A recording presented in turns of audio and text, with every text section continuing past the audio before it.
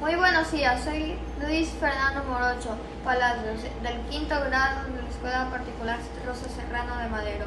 En esta ocasión voy a compartir el producto de mi proyecto humanístico 3, cuyo tema es Eugenio Espejo y primer grito de la independencia. Biografía de Eugenio Espejo. Francisco Javier Eugenio de Santa Cruz y Espejo nació en en Quito el 21 de febrero de 1947. Sus orígenes humildes sino que su infancia y su adolescencia, el pase dentro de un ambiente en un hospital llamado Misericordia de Quito. A sus 15 años se graduó como bachiller y profesor de filosofía en, en el colegio jesuita de San Gregorio para después doctorarse en medicina en la Universidad de Santo Tomás en el año 1767.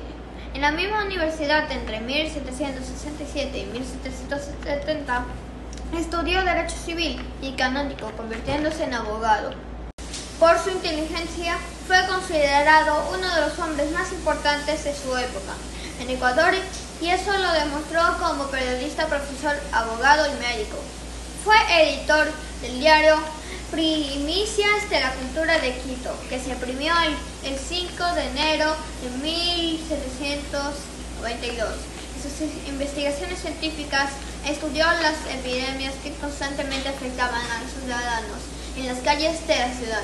Espejo fue un promotor de los principios de igualdad, reciprocidad y colaboración. Fue un hombre revolucionario que buscó un cambio de modelo y que compartió sus ideas libremente.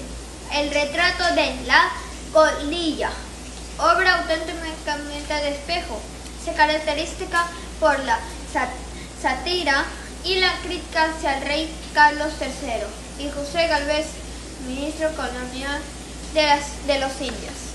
Su influencia en el primer grito de independencia, el 21 de octubre, es una de las fechas más importantes de la historia nacional, pues ese día de, de, 1794 Eugenio Espejo en la madrugada colocó banderas rojas con mensajes libertarios en latín que decían, seamos libres, consigamos felicidad y gloria, salve cruz.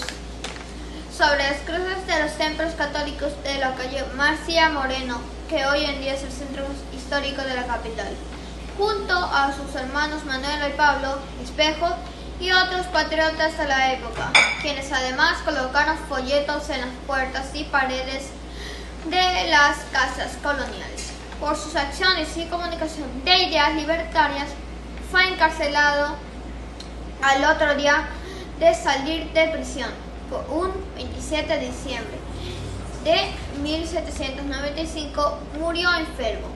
Este es Eugenio Espejo, una fotografía pintada con la técnica del puntillismo. It's proper to a strong spirit to deepen the issues ideals with and not be surprised by appearance. Eugenio Espejo, muchas gracias.